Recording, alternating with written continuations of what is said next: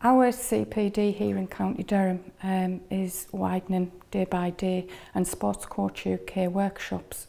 absolutely fit the model perfectly because they go away from being sports specific and give more ideas to more coaches so that their sessions are more fun and then better quality so again increasing more participation in sport and also things like the fundamentals of movement are just brilliant, especially for just introducing new things into warm-up sessions, uh, things like that, and bringing new ideas to that then makes it more fun.